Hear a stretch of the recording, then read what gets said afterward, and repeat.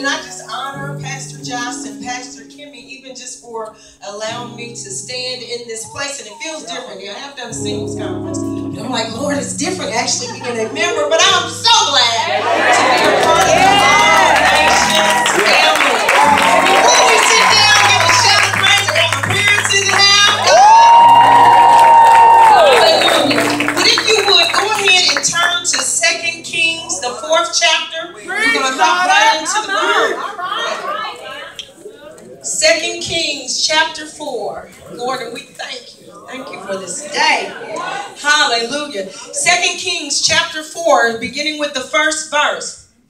And it says, A certain woman of the wives of the sons of the prophets cried out to Elisha, saying, Your servant, my husband, is dead, and you know that your servant feared the Lord. And the creditor is coming to take my two sons to be his slaves. So Elisha said to her, What shall I do for you? Tell me, what do you have in the house? And she said, Your maid servant has nothing in the house but a jar of oil. And the question or the statement for you today is it's in the house. But taking it even further, just so that we understand, it's in you. Hallelujah, Jesus. Hallelujah. And so we see here, and we're going to stop there. Always see the big see it. So it says, this certain woman that she was one of the wives of the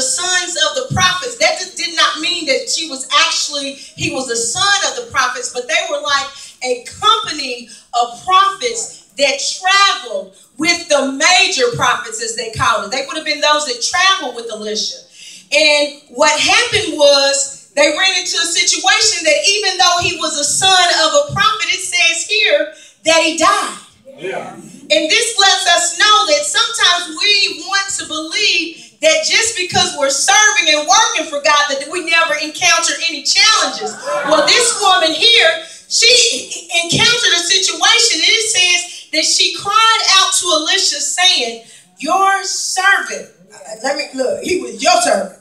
Your servant, my husband, is dead, and you know that your servant feared the Lord, and the creditor is coming to take my two sons to be his slaves. Now she's already lost her husband.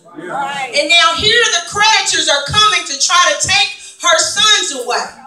And there are times in life, earlier we were talking about the victory, there are times in life where just because we have one situation that knocks us down, the enemy would desire for us to stay in a down situation. She could have said, I've already lost my son, my, my husband. Let me, you know, just go ahead and take my sons. But there has to come a time where we become aggressive about the things of God.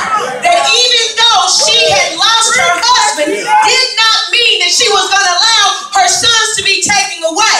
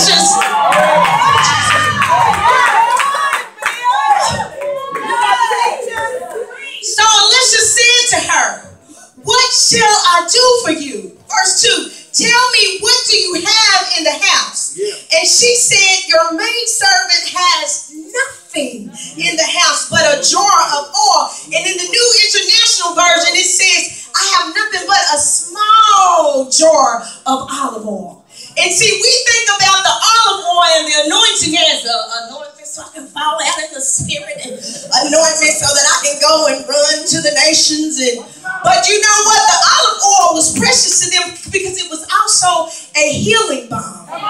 They also used it to clean their face. The anointing oil had multiple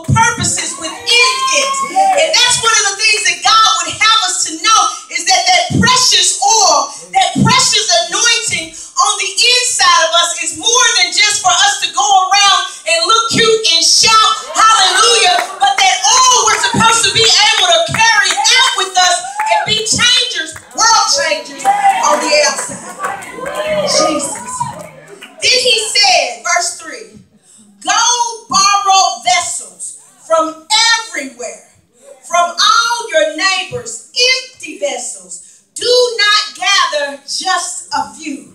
He had to expand her thinking. Don't, don't just get a don't just get a little bit.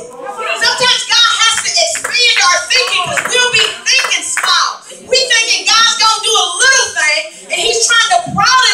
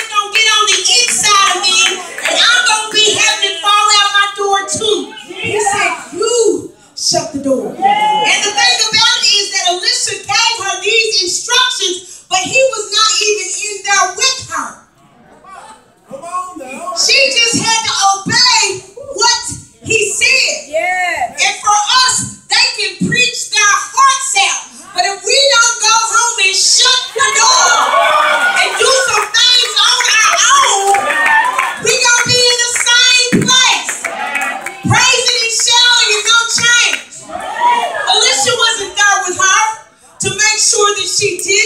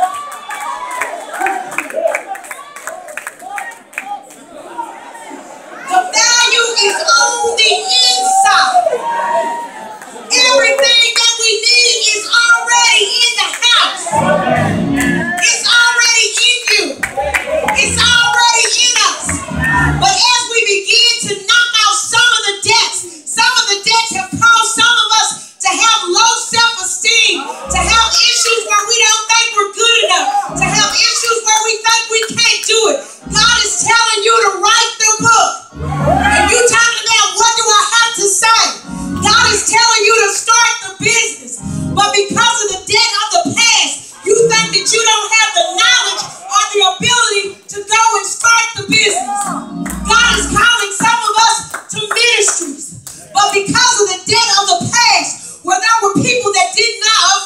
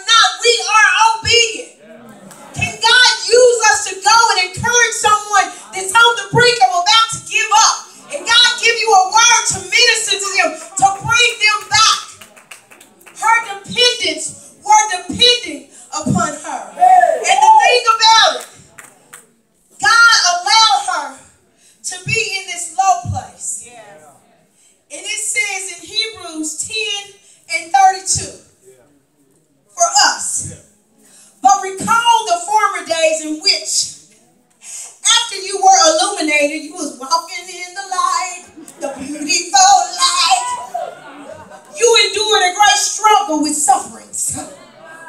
Partly while you were made a spectacle, you know, sometimes you look like you're laughing stock.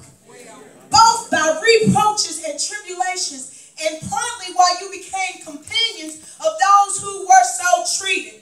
Therefore, do not cast away your confidence, which has great reward, for you have need of endurance. You have need of patience you have need of the ability to talk to people right. You have need of not just giving up as soon as you run into an issue. You have some needs. So that after you have done the will of God, you may receive the promise for yet a little while.